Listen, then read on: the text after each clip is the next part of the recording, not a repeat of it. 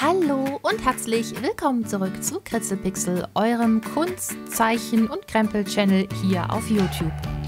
Ich habe ja, wie die meisten von euch wissen, ein YouTuber-Ausmalbuch rausgebracht und wir hatten uns vorgenommen, dieses Ausmalbuch mit den unterschiedlichsten Medien anzumalen. Ihr hattet euch gewünscht, dass ich mit sehr günstigen Buntstiften, die man ja meistens zu Hause auch rumliegen hat oder die man sich mal leisten kann, die man sogar eventuell als Werbegeschenk bekommt, ähm, ja, dieses Ausmalbuch anmale, um zu sehen, wie das funktioniert. Und da habe ich mir die Stettler Norris Stifte geschnappt. 24 Farben und das ist wirklich eine gute Auswahl an Farben für nur 3 Euro ja, ist so. Wirklich, die haben 3 Euro gekostet, diese Packung. Und ich habe mir sagen lassen, dass die teilweise auch günstiger erhältlich sind. Also es gibt natürlich diverse alternative Stifte, die recht günstig äh, zu erwerben sind. 24 Farben, großartig. Allerdings hatte ich ein bisschen Bedenken, denn ich erinnerte mich an meine Kindheit.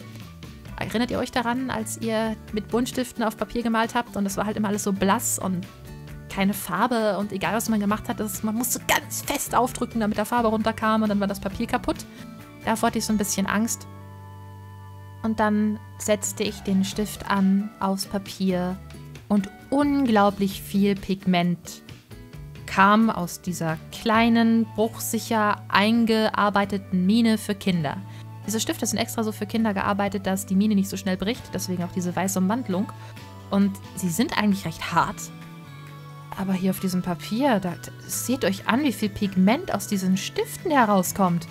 Und dann verblenden sie sich auch noch ganz leicht ineinander. Ja, sie haben nicht die gleiche Wachs- und Ölbasis, wie es meine Prismacolor- und Polychromstifte haben. Deswegen kann man damit auch keine ähm, Layer aufbauen. Es lassen sich die Farben nur schlecht ineinander verblenden und sie sind natürlich auch etwas blasser. Aber man kann sie verblenden, das sieht man da unten. Das habe ich ganz unten mit den Stettler-Stiften gemacht. Und äh, sie haben auch eine gewisse Farbmischung in sich. Sprich, Gelb und Blau ergibt durchaus ein Grün aber Ebenen aufbauen, ihr seht ja hier Pustekuchen. Wohingegen die Polychromstifte, gerade die Polychromstifte, die sind ja für das Arbeiten von verschiedenen Lagen und Ebenen großartig geeignet, eine unglaubliche Farbdichte aufweisen, auch mit vielen Ebenen übereinander und die Prisma-Color-Stifte eine ja ähnliche Verarbeitung haben, schaffen es die Stettler-Stifte natürlich nicht daran zu kommen. Das ist ja auch gar nicht der Sinn und Zweck dieser Stifte, das sind ähm, Buntstifte für Kinder zum Malen, einfach zum Entspannen. Aber ich kam nicht drauf klar, dass diese Stifte eine so hohe Farbdichte aufwiesen. Denn ich denke, ihr könnt euch daran erinnern, was passiert ist, wenn ihr Buntstifte genommen habt und einfach vor euch hingekritzelt habt. Das war blass und da war keine Farbe. Genauso wie man das hier sieht. Ne? Das sieht schon, das sieht schon viel, viel, viel familiar aus, oder? Das ist doch... Oh, oh, was, was passiert? Was ist das? Äh, wa warum, wa warum? Aha, ja, der ein oder andere schlaue Zuschauer wird es schon längst in die Kommentare geschrien haben. Das liegt am Papier. Auf der einen Seite seht ihr normales Schreibmaschinenpapier bzw. Blockpapier, wie man es in jedem guten Schreibwarenladen bekommt. Und das ist genau das, was man als Kind meistens vor die Nase gesetzt bekommt. Und auf der anderen Seite seht ihr günstiges Aquarellpapier. Und um die gleiche Farbdichte zu erhalten, musste ich wirklich mega aufdrücken. Und wenn ich diesen gleichen extremen Druck auf das günstige Aquarellpapier übertragen habe, habe ich fast den ganzen Stift drauf gemalt. Aquarellpapier ist texturiert. Es hat eine Textur, es ist ähm, grobporiger als normales Papier.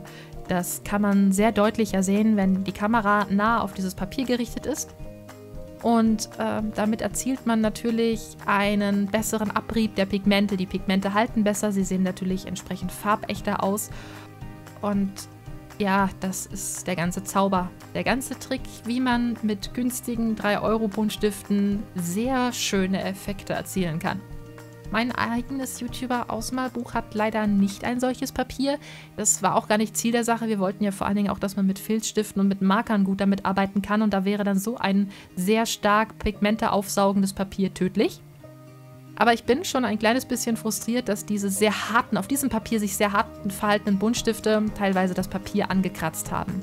Geht also vorsichtig und behutsam damit um. Klar, das ist zwar schon dickeres und deutlich qualitativ hochwertigeres ähm, Offset-Papier, trotzdem Trotzdem äh, muss man aufpassen, wenn man damit sehr grob umgeht. Und der Aufrieb von diesen sehr harten Stiften war doch deutlich spürbar und ich habe gemerkt, dass ich ab und zu ins Papier gekratzt habe. Nichtsdestotrotz ließen sich einige Lagen aufbauen mit diesen Buntstiften. Man konnte ganz gut schattieren, man hatte halt nur nicht so viel Pigment. Es gibt auch ein paar Tricks, wie man mit günstigen Buntstiften mehr Pigment ähm, aufs Papier bringen kann. Einmal natürlich hier die klassische Technik, dass man die Seite des Stiftes nimmt und auf keinen Fall mit der Spitze arbeitet. Dann kann man wesentlich mehr Ebenen aufbauen.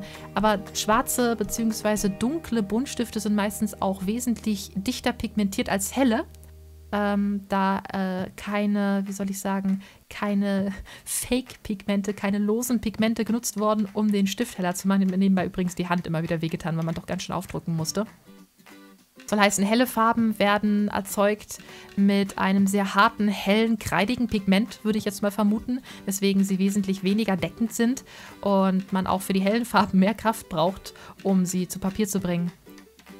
Aber so ist das nun mal mit 3 Euro Buntstiften. Ähm, ihr habt ja gesehen, meine Prismacolor-Stifte, meine Polychrom-Stifte, die haben wunderbar auf diesem Papier gearbeitet und dafür ist es ja auch gedacht. Es ist ja nicht nur gedacht, dass man jetzt mit den günstigsten Mitteln daran geht.